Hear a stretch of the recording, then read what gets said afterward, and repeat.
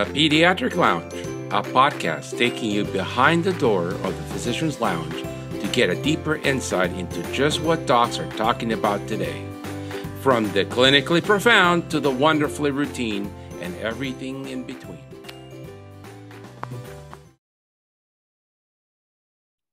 Good afternoon, George. It's Tuesday morning, and I'm in Manassas, Virginia, covering the office of a great friend of ours and a Peds United uh, fellow member, Brian.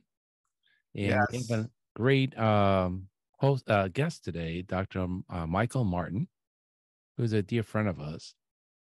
Okay, and his topic today is going to be the different looks of independent pediatric practice and advocacy at the AAP level.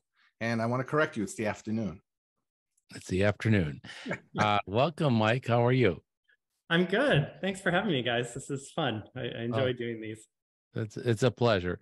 Uh, so, Mike, why did you become a pediatrician? Oh, geez, in in one minute or less. In one minute or less. um, for me, it's it's a unique juxtaposition of of things. Um, I've always done stuff with kids, which I think every pediatrician said, right? I, I coached. I I just I loved working with kids, and it really appeased appealed to my analytic side too, and and the love of science.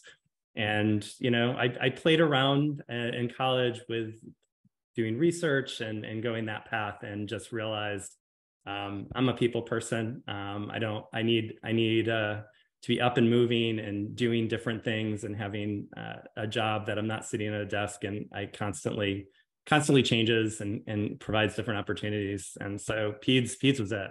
It's yeah. very early on. Now you started your career in Northern Virginia with Dr. Schwartz, who's uh, left us, right? I did. And you were there for 10 years. What what was it like to work with Dr. Schwartz?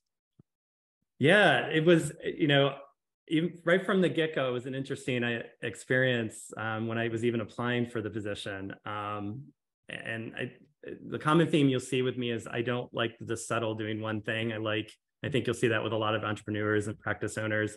Um, we need to have different things to dabble in, and there's no one that exemplified that more than Dr. Schwartz. Um, and I remember meeting him. I I I, I was at a long long uh, week of interviews through Virginia, um, and he was my last one. And I I just remember showing up, and he's like, it was he was just electric and tr- talking about all the th- different things he does uh, in terms of teaching, the research. Um, and it, it, was it was an instant connection. I was just like, this is someone, especially after some of the interviews I had had, I, I just I was like, I don't know if I can, you know, I didn't know if the other places were really a right fit for me, and and it just it just clicked right away. And I remember coming home talking to my wife, and she's like, "How did it go?" And I was like, I, I think he offered me the job, but I'm not exactly sure. he he was a, he was a genius. I mean, he he really was a genius. He was a, he's a, yeah a big loss to pediatrics, um, not being around, but he was a mentor to me. I mean, clinically, I learned so much from him, um, and he really let me explore my interests in a way that I don't think anyone else would. I, I remember even like about a year in, you know, so I'm only in practice a year. I'm still learning what I'm doing. I don't know what I'm doing, right? At one year out of training. And the program at Inova uh, needed um, someone to really run the continuity clinic, which was kind of a patchwork at that point. It, it kind of fallen apart with a curriculum didn't really have one. And so this great opportunity came up I got to know just in that year, he kept bringing me to grand rounds and meeting people. And so they got to know me and, and were like, Hey, we'd like you to take this assistant program director position and, and really revamp the continuity you know program. And i like obviously i had to go to my boss and say i'm going to need some time to do this. How do you feel about this? And i'm like he didn't blink. He's like you got to do it. I'm like oh okay. And I don't, I don't know many bosses that a year out that'd be like that take you away from you know generating and um you know revenue and seeing no he he, would let he you do that what what I remember about him is, um, oh, he would shred people to pieces in those meetings. and then, you know, the other thing I, I remember about, about him was uh, his technique of cleaning the nose on the kids. Full fill the bulb syringe with saline water and squirt it, and then the mucus would go flying out the other. Yeah, I'm like, well, I'm he's like, big have on they made- cleaning ears, ears and noses need to be cleaned. I, I- I always ask him, how do you stay in practice with all these bougie women out here in Northern Virginia? Don't they like start hitting you when you do that? No, no, no, they're used to me and I'll do it. Oh, well, that was really fun. Why did you leave that practice? You were there for 10 years. I was. I I mean, it was an amazing experience, and I, I got to a part where I was really doing. uh, You know, for for me, I think we just I came to a path in the road where I just had very different vision for managing. Um, and, and this is where I'm so grateful for him because I mean, during that time when I was there, I, I really got to stretch my legs and really get to learn how to run a practice and and in some ways, you know, try different things out. Um, I took business classes while I was there, and he really kind of gave me the reins.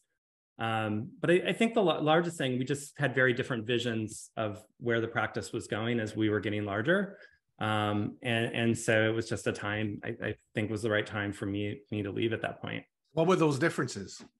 Oh, you're getting into the tough questions now. Yeah, because I Um, mean, you know- differences of of practice. That's like uh, it's standard. not the it was it wasn't the clinical stuff it really had to do with how the practice runs putting moving pieces of the puzzle in different places. So in terms of staffing how how we staffed Mhm. um you know i had put together a pretty extensive business plan um and was was starting to initiate that. And you know that with that comes unease right? It's change and Yeah. people's roles are changing. And so it, it it's a it's it's tough. I mean i've, I've been through different places where those kinds of changes occur and i can see how it, it ruffles people's feathers. And and that uncertainty is tough for folks um, and you try to guide them through but I, I think that is where some friction occurred um, you know it's it, and, and it rather than drive to further friction it just seemed the right decision to step away let him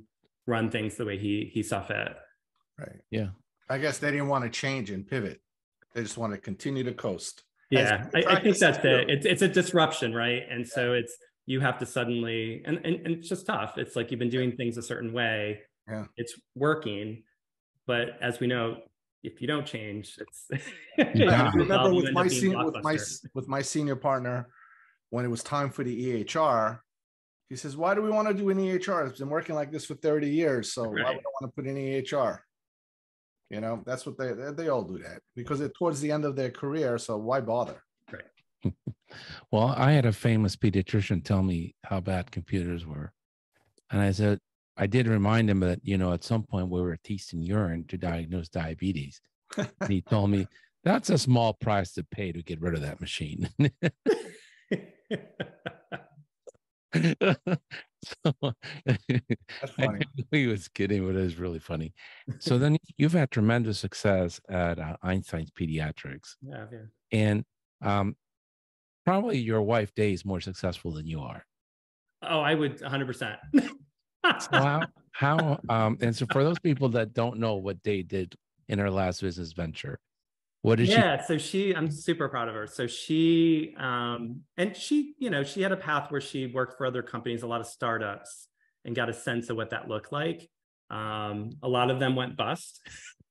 So Yeah. she saw failure too. Um and so she had she had a back injury actually. She had a a, a car accident and had a back injury um and at that time was you know it was hard for her to sit. So she needed a desk that would allow her to work at but not sit um, which now they're on every every target in every store right? Um, but she realized there was an opportunity there that at that time when she started um, there weren't really standing desks and and so yeah that was where she, when she launched um, her own company she started in our basement in our old house. Um, that was our warehouse for for a while.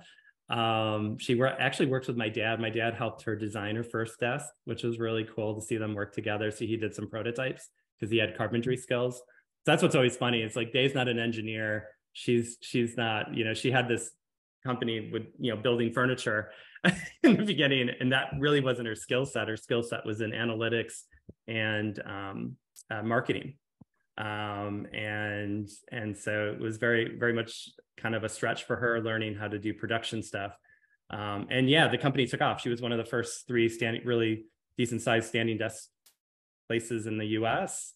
Um, she uh, became kind of a darling of Amazon and spoke, I know, at a few big conferences they had invited her to and invited her to uh, Capitol Hill to speak on behalf of small businesses.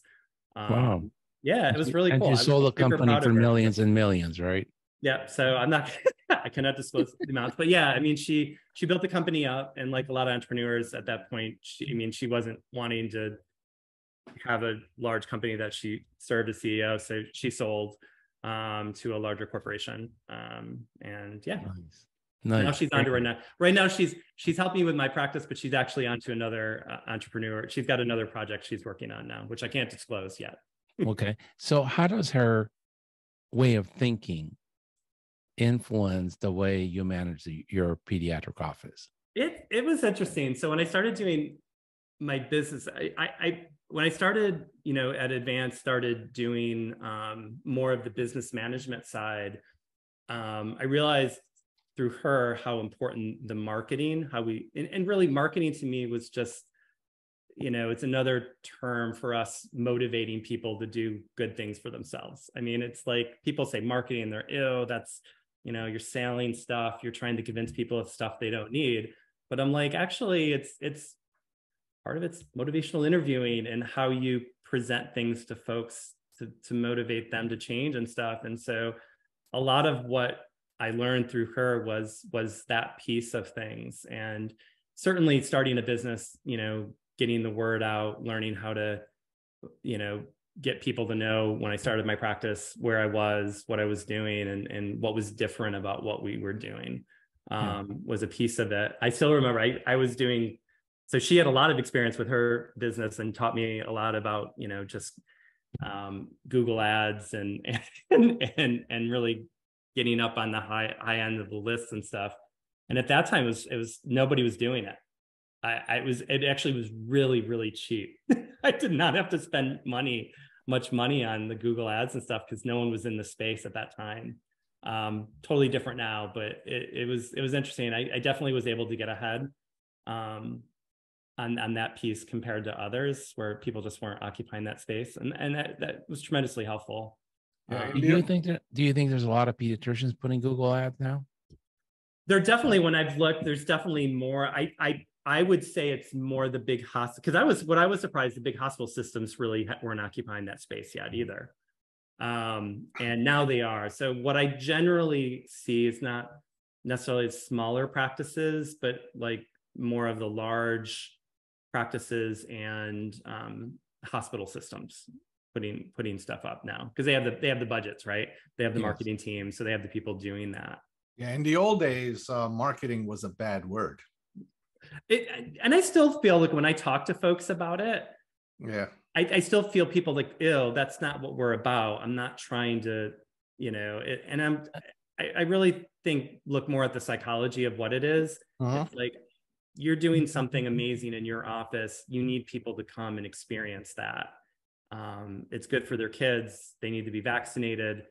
And you know whether you want to use the word motivate or market i mean that's they're they're in many ways synonymous. You, you know we we get in front of ourselves as pediatricians. Look we've been marketing since pediatrics has been a profession.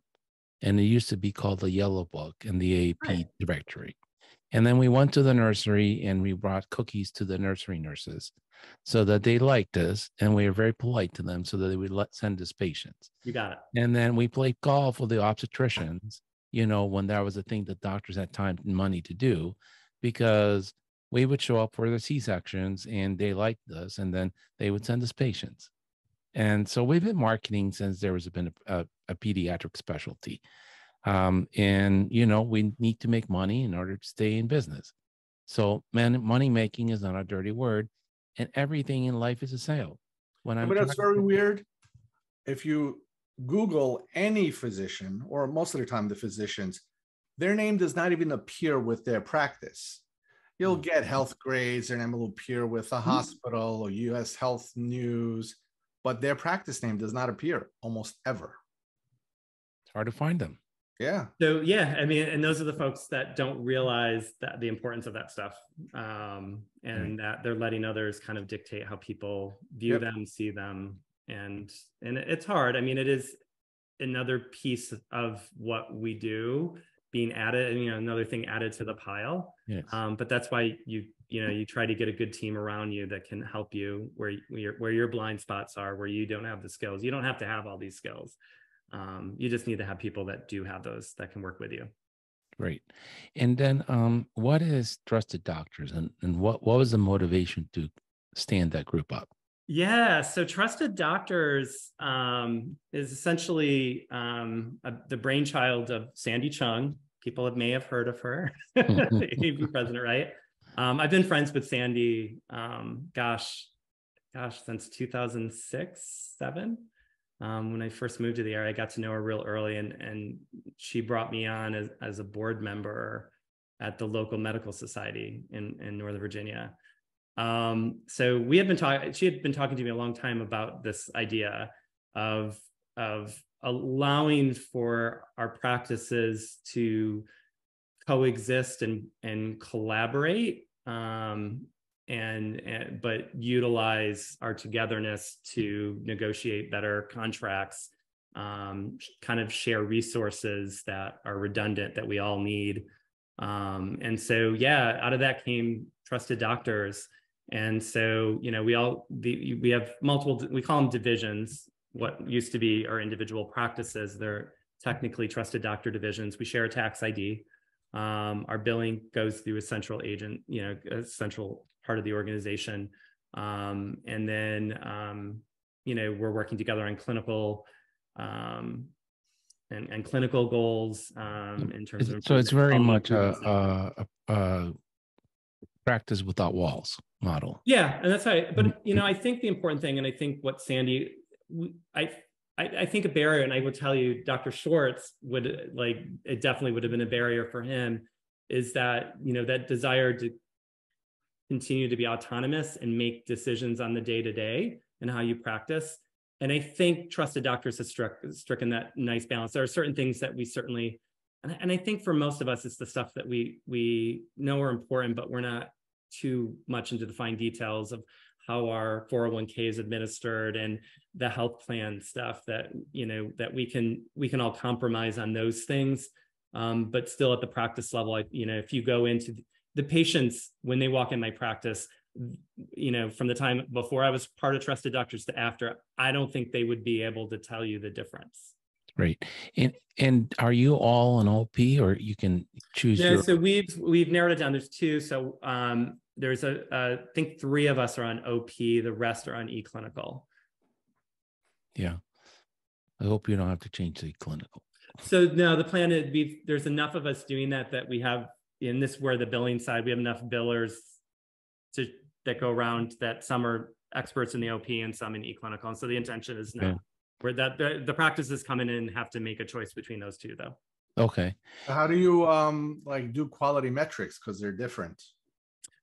So yeah, there's so we do some of you know obviously some's going to come through the the billing stuff, but we're actually doing a project um, called Fortify where and we're actually part of the Children's Health Network in Northern Virginia as well, where that data is being put as well.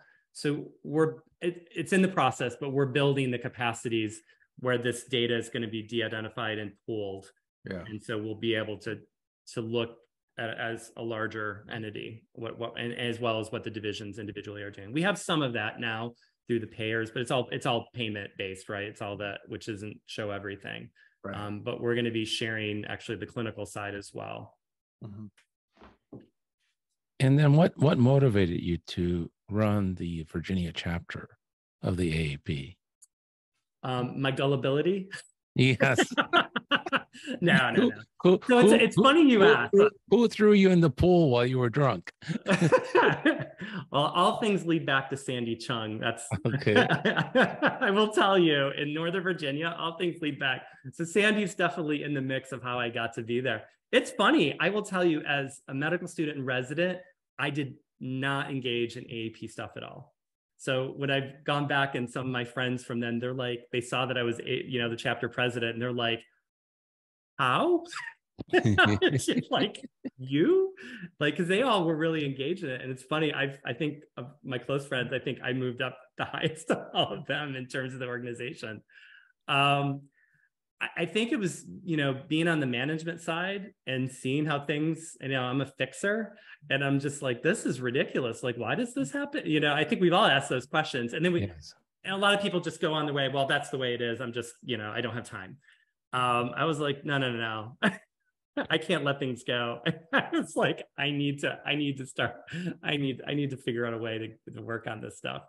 Um, and then, yeah, and then, uh, you know, overlapping with that was sort of Sandy bringing me in locally on stuff. Um, and I, yeah, it just came from that. I, I, I was involved with the Medical Society of Northern Virginia. That was the first one. And then I, I became a delegate for the MSV or Medical Society of Virginia, which wasn't a good fit for me. The just I, I it, it was it, just the way the organization run. I, didn't find a home there. And then Sandy had already moved over to the chapter, and it's like you should come check this out, what we're doing. And so I became the Northern Virginia representative, and I was like, oh, this is this is great. I mean, I was just they they were working on stuff on payment side. They had some great immunization projects going. I mean, it was, and the people were just I connected with. Um, so much so, I mean, even I remember when I started my practice, the person um, that did a lot of work on the payment side, I had some issues early on, and they were able to step in and, and make connections for me and saved me. I'm not exaggerating, at least thirty thousand, probably closer to forty thousand dollars that I would have mm-hmm. lost. Um, and so, I mean, that alone, I was like, I've got to, I, oh, wow. I, can't, I can't, I can't, I, I have to contribute to an organization that's helped me so much. And so I, I just felt it was my response. So much has been given to me, Dr. Schwartz, the the chapter, and I just it's like it was time to get back um, for me. And so yeah, I just kind of worked up the chain at that point. What what did what do you think was your biggest win while you were president of the chapter? So when I went in as chapter president, you all recall there was no COVID. right before I was getting prepped and ready. And then as I was getting closer, COVID came. So I had this huge agenda I was going to do. Out the window that went. And, and and I honestly think I'm probably the right person for it because it, it was a, I think looking back I'm like I'm pretty flexible I'll bounce with things and it, that's I mean that was COVID for two years right it, yep. it was adjusting making constant pivots and adjustments and i'm a pretty open person to change and hearing different perspectives even when i go into a pretty hard stance. Um, and so I, I think for me was just doing that pivoting and and at each step identifying the needs for the pediatricians in virginia. I mean the earliest thing i remember doing is we like getting masks you know get, getting just face masks getting supplies that were that people couldn't get. And we I saw someone doing it at a local level. I'm like, why don't we just do this at the state? Um, and so I, you know, we kind of had five regions. I set, you know, started to set things up and take orders from people and started collecting stuff to the point I couldn't even accept all the stuff. There were there was a company that was trying to give us, I can't even remember, like three or four truckloads of stuff, but I had nowhere to put it. Oh wow. so it was a good problem. But I think it was that. I mean, I think for us, each at each step something new was occurring and responding to it um, and really utilizing effectively communication kind of multi-channel communications with folks. Um, so you know we started listservs at that point regionally. Um, we started really you know have i did some live stuff like this some podcast type stuff really and, and then started i think we ended up running 30 plus different webinars and things um, and really putting those pieces in place um, and and i think all of that was uh, was because of covid and, and each as things change and the needs that were happening um, yeah you you did a great job. I mean people are very happy with what you did. I was i was you know in the middle of it you're like oh my god i hope this is making a difference right? You're like i was probably working 90 hours a week I I I was working. You know, Saturday and Sunday was for catch up. yeah, no, you did a phenomenal job. Everybody says you did a phenomenal job. Thank you for that. I, I hope it. I, am hoping I helped. I mean, I hope I made it yes. a little bit and then, easier. and then you also you also pushed across the goal line, uh, Medicaid reimbursement, right? Yeah. You, you, you didn't get to 100% of Medicare, but you got it from 50 to we keep pushing. I mean, that that battle happened before me and will continue. That's been a, a target of the chapter for a long time, and we'll keep we'll keep pushing. It's- we're not Why done. is that? Why is that? Why is that important? you know it's you know it's one of the huge barriers to providers even taking medicaid. We don't i mean even our region we don't have it i mean honestly across the state we don't have enough people taking it and understandably the reimbursement so much less. Um, and it's getting harder and harder. Those margins are getting leaner and leaner. Um, so you know I, I see places like you know the Inova Cares clinic that can't run in the clear because they're not being paid for what they do. Um, and while Inova can absorb that, those of us in private practice can't. it's Right. like I need I, I can't I, I Right. can't I can't Right. I can't work and pay. Right. So, so we, we, we need to make money to pay rent. We need to make money to Yeah. pay our mortgage. We need to make money to treat our staff properly. Yep. And if we don't, you know, if we're losing money, we won't serve anyone. No, and we can't hire good people. We can't. I mean, it, it just tumbles in, and and and you guys probably know this better than I mean. We're headed towards pr- troubled waters ahead with with having enough providers, staff, in primary care in general, not just pediatrics, but primary care. And I mean, we're headed over the ledge, and I'm not sure. anyone's I know, I- Here's my own soapbox on this. What are your thoughts on uh, student loan forgiveness? Because you, as a private physician or an enterprise, your office is not designated as a an underserved area. You may be uh, servicing a lot of Medicaid and Child Health Plus, a medically underserved population, yet nobody cares. And across the street could be the Novo Health Center that bought, bought up Dr. Bravo's little practice and all of a sudden that practice is an underserved area or and then they could get loan forgiveness in that office Yeah. Oh, I I- think it's I think it's a great tool. And I, you know, when we're doing advocate, like the, go back to my my chapter hat on the executive board, you know, one of the things that we're constantly seeing is encroachment of scope of practice. And it's always driven by access. And it's like this is this is the kind of tool if you want people to go to a particular area, you know, Southwest Virginia, this is the perfect tool to get people down there. But what we keep doing is giving, you know, non-physicians privileges to do other things that ne- not necessarily trained to do out of that desire for access. Um, and then they're not going to those regions. That's my favorite part of this. A- Well, a- that's- and, that's and the the, you second know, soapbox so that's another, but the, the honest truth is there are many counties in the US that do not have a pediatrician, period. Right. and there are very very many areas uh, even in northern virginia where access is very limited Yeah. uh, to a pediatrician and um, i think we are over i mean i think we over over the cliff this is do change now or we're we, we are in deep trouble Yeah, you can't just pull this out of that. The only the only thing, and this is my fear, is that we're creating the gap's going to keep getting wider, and so you're not going to have doctors to pull from. They're going to start giving others the same privileges.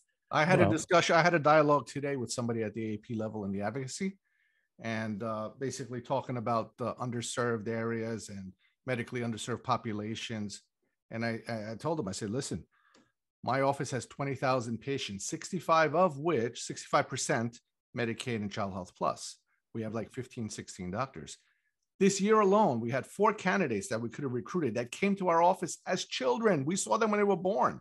Right. Perfect candidates, right? For a great story coming home. They went down the street to a federally qualified health center or the non for profit, literally a half a mile away, servicing the same population of people because they had student loans. They couldn't come to us for that because of that reason. Now, you know what was amazing to me when they stated to me was, well, Dr. Rogel, you seem to be the only one complaining about this. That's weird, right? well, It's well I- terrible, actually. I, I, want to get away from this means testing. We don't means test public schooling in America. So we have already a shortage of primary care doctors. Mhm. Try to see an adult endocrinologist for your type 2 diabetes. It's a six month wait. Yep. Okay. E- even if you have insurance, if you have wanted to pay cash, it's like Hmm. Can't help you. I, I'm booked for six months. I can only see as an endocrinologist 10 patients a day. Each patient's 45 minutes. Yep. And so let's stop talking about Medicaid. and Let's stop about a chip and this and that. Every child deserves to have a pediatrician in every county. If you go into community pediatrics and you're community based, whether you're employed by um, RBK Pediatrics, Einstein's Pediatrics, you're independent contractor like I am, you know, there should be loan forgiveness uh, because we need access to pediatric care for everybody the white kid, the black kid, the brown kid, the yellow kid, the tall kid, the short kid, the gay kid, the heterosexual kid, the boys, the girls, they all deserve. There is no means testing, just like they all deserve primary and high school education. Well, that it's wishful thinking, Herb. That's really wishful thinking. You No, no, might be able to get you might be able to get something with Medicaid and Child Health Plus because these are all federally, you know, programs. Right. But um, you know, I I made the the person realize that my office is located in it's not an underserved area, it's not a rural area. But if I can't hire doctors and the office starts to dwindle and we close, the 20,000 patients that we service, 21,000 patients that we have, all of a sudden we'll have no doctor. And then you know what? Commack will become a medically underserved area. And then, you know, um, I'm old enough to remember when we didn't get paid for the vaccines. And we would do the well child exam and then send the patient to the health department where the nurse would give the vaccine. And if we do not, if we do not value pediatricians, if we do not address their student debt, and we don't pay them enough to stay in business, we're going to go back to the point where children don't get well child exams. They go to the health department, they get vaccinated, and that's all the care they get. Yeah. And that is not what we want for America. That is not going to produce a strong democracy and is not going to produce a strong country. So I need all pediatricians to stop talking about Medicaid and start saying we need to be paid fairly and we need to be paid fairly today. And every child without means testing needs access to a residency trained pediatrician. That is what's fair, that's equitable, that's inclusive. Yeah. That's DEI. Um, you know, let's just stop with the nonsense. Yeah.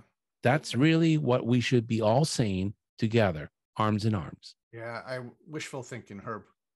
Well, George, if we don't dream, it will not happen. Yeah, I I do know. think we have to. I think we do have to start being, Mm. and I think at the at, at not just at, the national. I think we are attempting to be louder with that message because more is falling. I, mean, I will say there's a shift in what in in practice we're seeing as well. I mean, we're definitely doing more complex things because of the limitations. I mean, in Northern Virginia, we've got two hospital systems, two children's hospitals, and like you're saying, it there's a way. I mean, you know, Forget forget. I You mean, can't for see a multiple neurologist. specialties. You can't see a neurologist. Yeah. Psychiatrists mean- in North Virginia is two years wait. and, and so I, you know, it's there's definitely more incumbent on us as pediatricians for managing than there was when I started. Um, and I just don't like I don't see how you do that without more. P- I mean, it's that workforce has to come from somewhere that has some training in the stuff. I mean, I I probably see a quarter to a third of my day is mental health now. Yeah. And that takes some skill. I mean, that's not, you know, I'm starting to get my younger physicians trained to do that, but it, it, it takes skill and time. And Yeah, it's yeah. just blocking our schedules up more as we take on. you know even with the mental health you know the un- you if you're a mental health center or behavioral health center developmental center you're qualified for loan forgiveness yes but dr martin you're just a pediatrician That's right. who cares Right. Nobody cares about dr rogu and dr martin Yep. And then um uh yeah, no, we we need to change that. Obesity is a big a big problem. It's Yeah. very time consuming, it's very important. Yeah. I, I joke with my radiologist friends that, you know, through most of my career, I never ordered an MRI.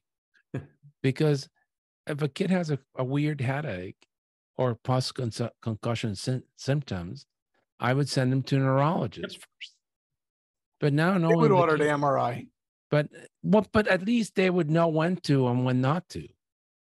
they order on everybody But nowadays, it's like I can't get them to see the neurologist. So I'll order the MRI and treat their migraines, you know, with Zofran and Motrin until they can get an appointment. Yeah, no, there's a there's a lot of uh, that we're doing to patch the time and and that and that's where like I'm more and more I'm taking on more complex stuff that I'm like there's a discomfort with what I'm doing, but I I I've got to do what I've got to. I mean, somebody like if I don't, then who will? No one will. That's, that's our that's our that's part of our problem sometimes in pediatrics is that we're always wanting to help and we overextend ourselves. I think we're givers. Um, and and but you know that's where I think on the advocacy side we have to. There are times we have to be like enough's enough. I'm not doing like, and we we have to and we just. I mean, part of this I I do very much strongly feel it has to come not just from us but from those we serve um, the families and they're the voters and they're the people who have to push back too. Um, that just us and we're a relatively small group um, but we but i think when everyone starts to feel the pain we have to educate them on why that's happening yes and so i think at the chapter level the aap has done a phenomenal job of advocating for pediatricians yeah i'm always amazed how much i mean I, I have to tell you a little bit funny story with my my nurse practitioner was in the office in the middle of all this COVID stuff, and I probably looked 20 years older and sleep deprived. And she's like, ah, Dr. Martin, I hope they pay you a lot of money for doing this. I just laughed. I was like, she's like, what? I'm like, we don't get paid. We're all volunteers. Right. There's right. no money. uh, I, I, I don't know if there's a communication gap at the at the Chicago AAP. Yeah. But it really does not feel that they have my back as a practicing pediatrician at the Chicago AAP. I and I think I think that needs to be changed because without pediatricians, there are no healthy children. Without healthy children, we don't have a country. Um, you know, so it's like what I tell the mothers in the exam room over and over again. In case of an emergency, put the oxygen mask on your face first, then take care of the child. Because yeah, without a mom, I can't take care of the kid. I'll, t- I'll and tell if you. you think got... about it, without pediatricians, what will happen next? There'll yeah. be no more AAP because there'll be no more members. Well, there won't be a society because children need to be healthy and cared for. We don't want them just to get shots at the at the at the health department from a nurse that can't do developmental screening, that can't address their mental health needs. But what are your thoughts? Yeah, so I, I have to tell you, so this, I, and I've gotten this, I got it at the chapter two where people didn't feel we represented them. Um, this was a few, I, I feel like we're in a better place now, but it, there's, you still get some of that. Um, I think we made some inroads in it and I, I, get the same the disconnect that pediatricians feel with the national organization that happens i think for the chapter i will definitely say and i think national is a victim of this. I think sometimes there's not enough communication to let you know what's being done. Um, there's a lot of things done behind closed doors and being like when we were doing advocacy stuff i don't think people knew. And that that when i joined the board I, I do remember and that was a real push for us to start being better about how we communicate and really pushing that out and engaging folks in discussions about what they wanted us to do. Um, and so I do think of the chapter we made a very mindful effort, and I think COVID helped even accelerate that. Um, I think there are efforts at national and recognition of that disconnect um, because I do think there's a, I mean, I like a lot of these people you've had on here to interview. I, there's amazing people they're amazing. doing work Truly on our behalf that are doing stuff that I think the majority of people don't even know they're doing. Right. right. right. Their right. story needs to be told. Their story needs to be told. And I and yes. I think figuring out how to best do that. Um, I just I always say, like, I just in medicine, this was one of the things we're always behind like 15 years of business practices, you know, in terms of how we run our practices. Like yeah. it's really fascinating to see. But I think that carries over to some of our organizational stuff too.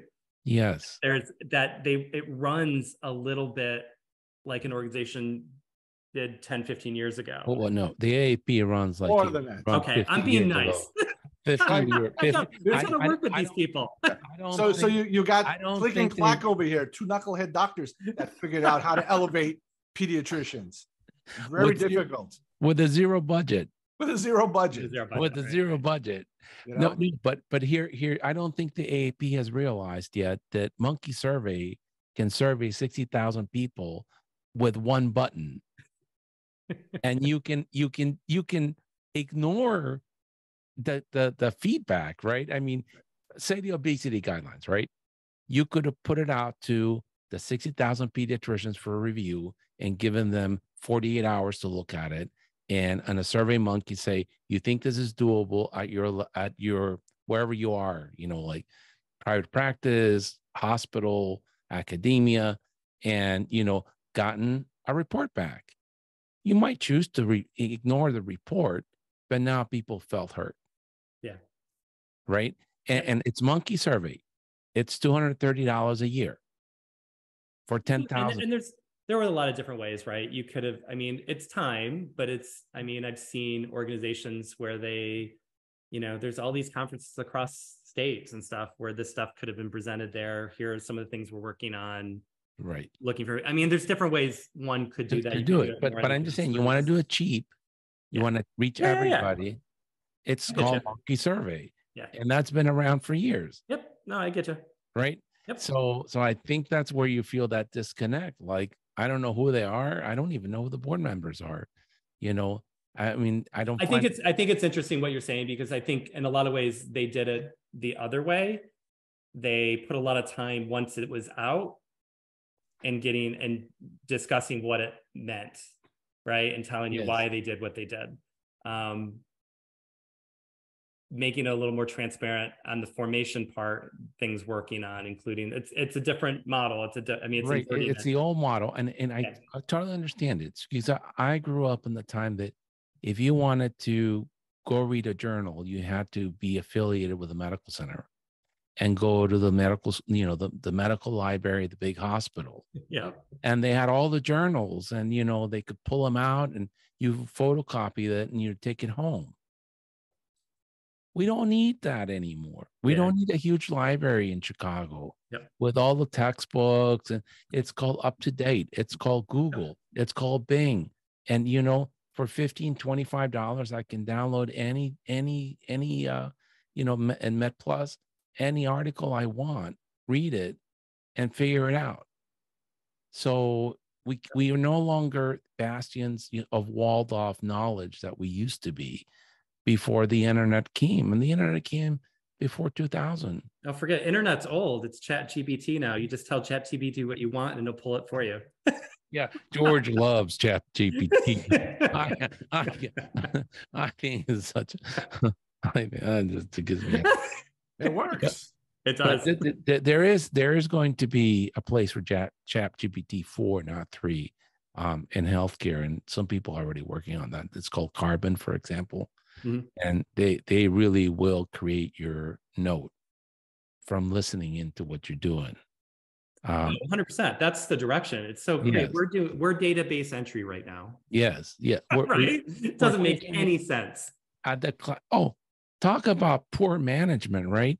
You you get the person that makes the most income for the for the company the most revenue the most highly trained and you turn them into a data entry clerk. Right. yeah no it, it, Genius. never made sense. That was genius. Yeah. that was genius. This is genius and i'm not going to say who who did that to us because i get in trouble but that was a genius idea it was I, I i look at it it's going to be a very small piece of history.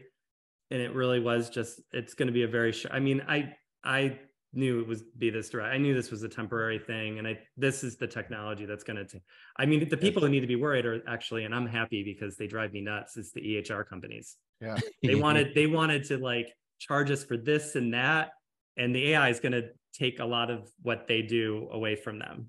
You're not you're not going to need it's right yeah Well, I'm using the chat GPT within my EHR where I tell it, write me a history Yeah. of illness for Yep. a child with a sore throat. It writes me some words, a paragraph. I fix it up a little bit because it's never good. and then I drop it into these uh, phrase construction places, and I talk to the patient. I know what I'm going to ask. Whoop, put that button. I got a paragraph. Yeah, no, I've even used it. I've even used it on some uh, rebuttal letters for insurance negotiations. You know, when I was big on the COVID testing, Mhm. and I went into ChatGPT, I said, write me a rebuttal letter to the evil empire about uh, not covering COVID testing or whatever. Oh my God, you want to Mhm. cry after that. How could you not cover COVID testing on little poor children? Yep. So, Mike, Mike, what uh, challenges do you still think that we face as a as a profession right now? What like top of the line? Um, oh, there's a long list. I hate to say it that way. I'm I I still I want to start by saying I still love what I do. I think it's an amazing thing that We we still do. love what we do. Yeah, I Go to mean, I still love it. Yeah. Um, because that's where I look at I look, you know, I'm sort of at that middle age, right, where everyone starts to question, they get their sports car and they question their decisions they've made. I have no doubts that pediatrics was the right decision and and I'm grateful for it every day I go to work. You're a rock star. Um, Give no, it's just a fun field. Where else can you go in? You smile, the kids. Yeah. I mean, it's just it's a happy place. Yeah, it's definitely we got the best Um, job in the and it brings joy, and it's and it's it's important. That's the other thing. I always this is the conversation I always have with my wife because it it's it like she can make so much more money than me, but I'm I'm like I'm doing more important work. You know what? You She- are. You're not going to show this to her, right? no, I, I well. would not say that to my wife. so challenges um i i i i think the insurance piece is just always is the big bear in the room and and i i don't i don't you know I, it's just getting the margins are getting tighter and we have to you know you can only run things ever so more, more efficiently and so i that has not been fixed by anything and so I, I still think on the payment side is still one of the biggest things for us is getting recognition for what we do. Um, I look at other countries who dollar, you know, you know, you know, the dollars they put into primary care, whereas our country inverts it and puts it into all the specialty care. Right. And I'm Right. like, and and one of many reasons why our outcomes aren't as good, because we try we we let there become problems that need fixing rather than prevent problems. Um, but unfortunately, in the models, you know, and this is where I think the AAP is definitely doing work is looking at guides as to what's important and what should be rewarded in the payment system.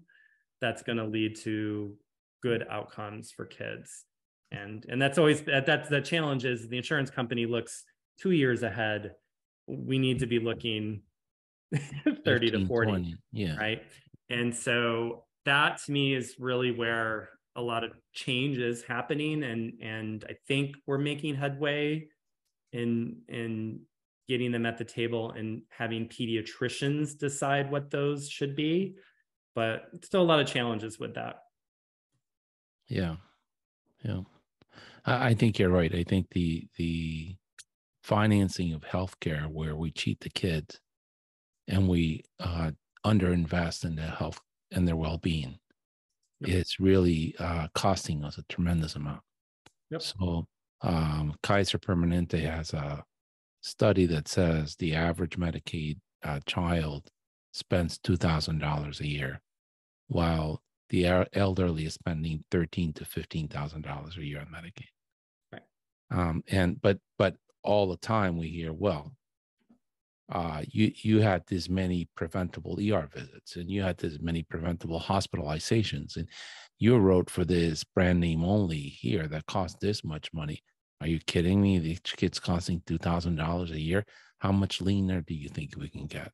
And that that's I I have to tell you, it's yeah, it's crazy. We have one of our payers is wanting to decrease us eight percent. And with inflation, our costs going up, they want to decrease what they're paying us eight percent. How is that a good idea? I'm like, and I'm just like, eh, that's exactly it. I'm like, how many, how how much are you gonna, how much more are you gonna squeeze out of? You, you know where that's coming. I don't think Inova's doing this, but you know where uh, they they are doing it in Long Island. You know where that's coming is you you check into the ER today, you get the multi respiratory panel screen Yeah. that's 50 $1,200. Twelve hundred dollars. So that you know that's going out of their margin. So they're looking for you know someone to take a haircut, Yeah. and the pediatricians are the easy haircut. Because Good. you're not going to complain. You're going to say, thank you. Give Well, me. and so that's that's the message. Yes. You have to complain and and you have to Yes. and this is where it's hard, but going toe to toe and saying we're not going to take your insurance then. Yes. Well, that's not. That's the answer. only That's that's not the only leverage you have. No, I, I Georgia. I think sometimes it it is like there's some managed care Medicaid plans that pay you know like fifty percent of what regular Medicaid pays, and Yeah. people still take them. They don't even know they're taking them. Yeah. you know that so no okay i'm not going to take that because this other managed care medicaid is paying me two times as much as you're paying me for the same work sorry Yeah. and those patients will switch over to the to the other medicaid plan Well, that power you do have to, to, to, guide them into a different plan. You can call the ones Yeah, that of course. more to come in for their routine checkups. And ultimately, this company will have poor HEDIS measures and they'll have poor reports and poor quality and so forth and so on. yeah But Yeah. those guys usually don't care about pediatrics. That's why they do that. well then fine then you know then if They you have to have it. They have to have a pediatric presence. Yeah, but if people put their their big boys pants on or skirts or whatever they put on, you know, below the waist, and they tighten their belt and they go, I'm not going to put up with it. And 90% of the pediatricians in Virginia will not take plan number X because of unfair reimbursement practices. Guess what? Things will change. Well, that's where the But problem but if, comes in. but if we're wimps and we don't do you anything, can't do that because of regulations. You will there get is no slapped regulation. Well, You're, You're- you're unionizing doctors, you're mobilizing doctors, you're organizing No. doctors against the company. Uh, no, Yes, it's a problem. It's not a problem to say Medicare fee schedule is a hundred dollars for nine nine two one three. Say, I don't know what it is right now, but say if a payer gives you less than fifty, you know, less than fifty percent for nine nine two one three compared to Medicare, then you should not participate in that plan. There's nothing illegal about that. No, there's nothing illegal about that. What the legality is, you convincing Dr. Martin and myself Correct.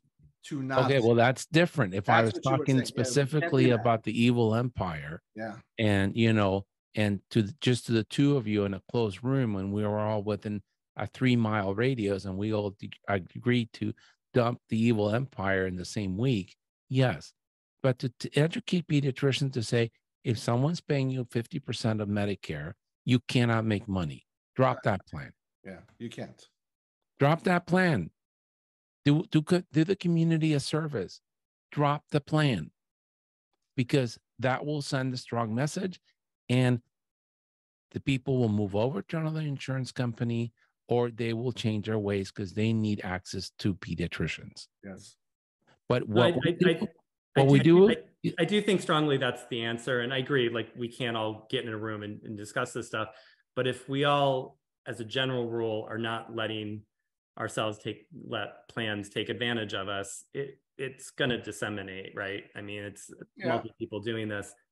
And you know, I, I think at the end of the day, it's like the truth is like we're in areas where there's not enough pediatricians, and you do that, they're gonna have to deal with us yes because there's not enough of us.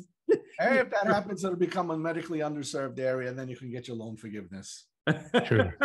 True. and, and we all get what we want. See, I knew we could. Everyone's happy. so i'm always happy when i It was a good episode. I like being I like being grumpy and cynical. And then I, I hear your laughter and I'm like, oh, well, well, life could be better. but I mean, this is, I mean, this is all really important stuff. And, and I, I think this is, you know, as individuals, our voice doesn't carry as much. Certainly saying no to insurance plan, but this is the stuff that the AAP, we need them for. right. And, and there's, and and we have to have, like, we, we need someone sitting at the big boys table with the big plans and the leadership in those plans and having these discussions like this doesn't make sense. This has to change. And- Um, and we do need a union, and it's not illegal to unionize as long as you're an employee physician. Right. If you're employed, you could be unionized. You you you just can't be employed and own. I mean, unionized and be the owner of the business.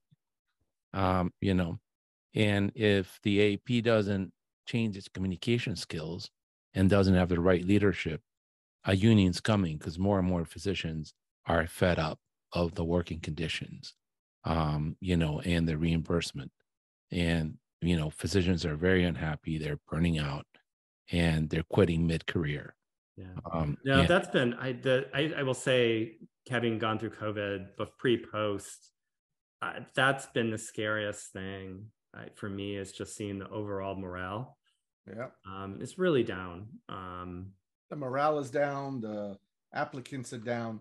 Heck, we're using three headhunter corporations and we can't locate a candidate. yeah, Three. It's not like you're calling residency programs. No, Uh, it's it's the it's- shortage is here. The shortage is here. Oh, yeah. And it's, Yeah, it's, I mean that's the thing. It's already here, but it's going to get worse, and that's Oh, like you're not seeing mobilization, and you're kind of like, um, yes, yes. And you know what's worse is that I'm a little bit older than you, yeah, like by about a decade. And so I'm more likely to start getting sick and needing an internist. And Yeah. there's none of them. yeah. There's no, you can't find an internist. They're all working. It's no, it's hard, they and all work at 12 hour shifts at the hospital for 350 and they're on a week, off a week, on a week, and they love their lives. No, they don't. Um, I have a lot of friends at hospitals. They don't love their lives. Well, it's better than the internist, you know, that's not making any money and Oh, seeing yeah. all these complex patients, Yeah. you know, in a little, you know, two person office and is sweating how they're going to pay for, you know, that their staff this week. You know, I, I want to say that my internist, he's doing a spectacular job. I go there. He has Yes. access to care. You call up for appointments. But he has that. nine, nine nurse practi- practitioners Stop, let me finish the story. so I always get to see him because I am Dr. Rogu MD. The staff knows to book me with him. But if it was anybody else, they'll see his nine nurse practitioners. That's the new model. Well, I don't want that for the kids. That's gonna happen. No, it's not. You're now you're being like, you know who. Well, you know what? I am starting to get drained. You know, our our line was primary care when you wanted, urgent care when you needed, services provided by physicians. Great line, right? Yep. Great practice.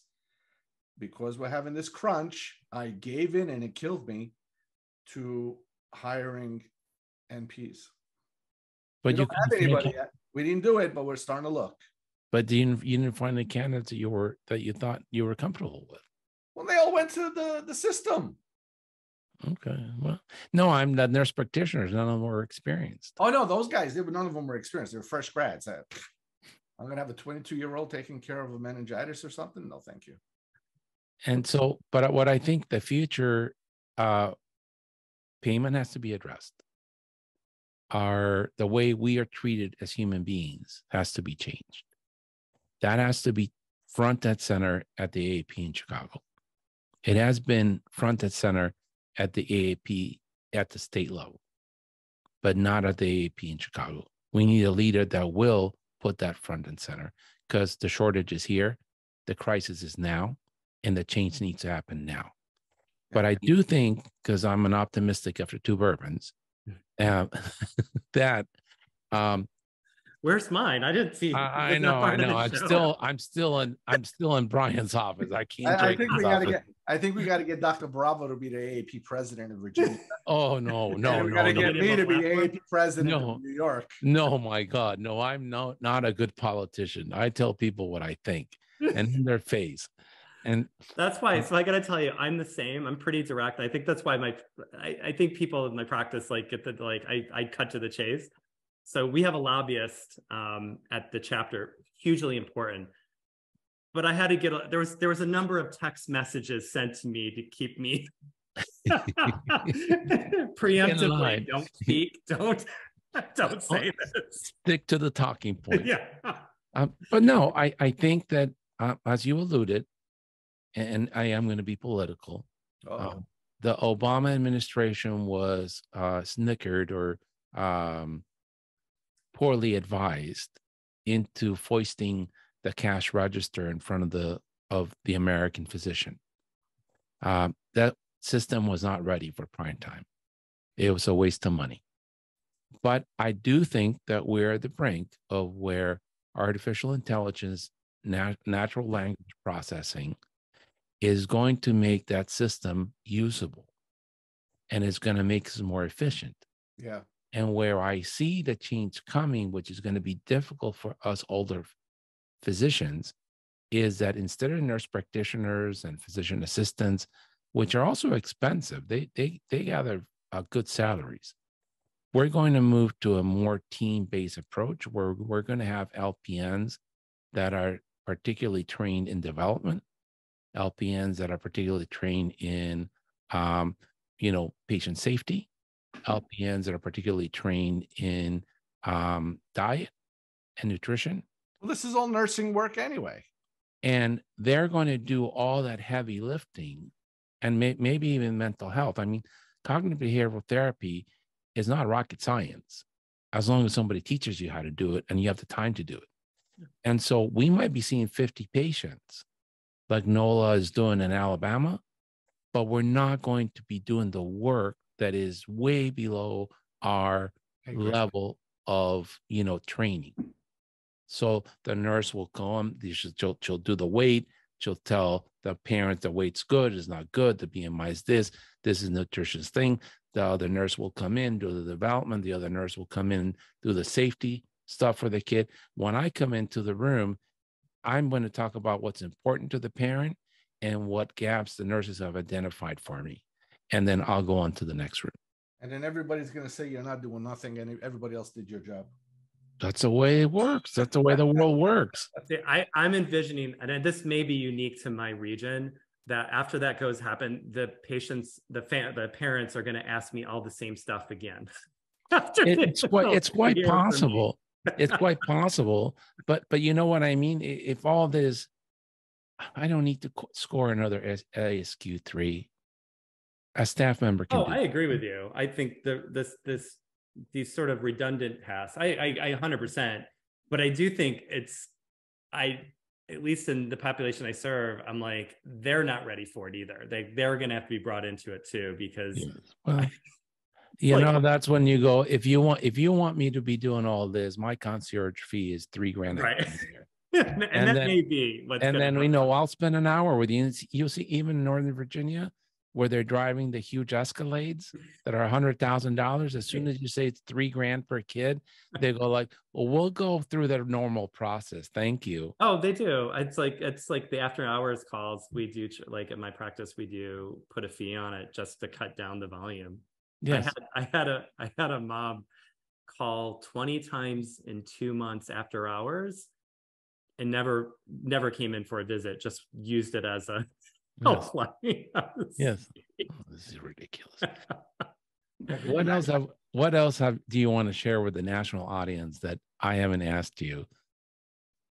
Yeah, I mean, for me, it's you know, we're talking about the things that the changes you want at national AAP, the stuff at the chapter.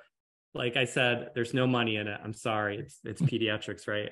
But we we need people. I mean, and it's it it can be small, it can be big. It's we have, you know, there if there's things that you're seeing and that you have especially an interest and expertise in it's like there's a place for you um, and and i know i'm i'm doing a lot you know working with residents and medical students kind of bringing them up in that culture it's like you need to engage um, like i didn't when i was yeah. at that stage. Yeah. I, I just didn't understand the value of it now being out. I'm like this this it, it's you determine your future and it's and you can be on the sidelines or you can be in the middle of it and making making being a part of making the changes. Um, and it's that simple. And i know it feels like at times it's heavy lift. It's you're not getting heard but i can tell you having done this for i guess it's been 15 years it, it does make a difference it's just not as fast as any of us want it to be yeah but i can tell you when we're not at the table it goes very badly yes yes. it goes much Absolutely. worse. Absolutely. Well, Mike, it's always nice chatting with you. I'm glad you, you got time to do this for us. No, this is fun. Yeah. And uh, hopefully you'll be at NCE this this year. I hope. Yeah, well, it's right in DC. Yes. How could I? How could I not? It's like it's well, I don't down know. the road. Maybe you're like, uh. well, I'll definitely be there. So hopefully we'll get to catch up with you there. Absolutely, absolutely, guys. Well, thank you for your time. It's, this has been very entertaining. I had a good time too. Thanks a lot for inviting All me. All right.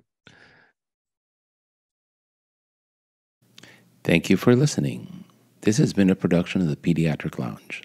On the show notes, you will find links to our co host and other important notes, as well as a timetable of the topics discussed today. Don't forget to follow us on social media and subscribe to wherever you listen to your podcast. Leave us a great review as it helps us greatly.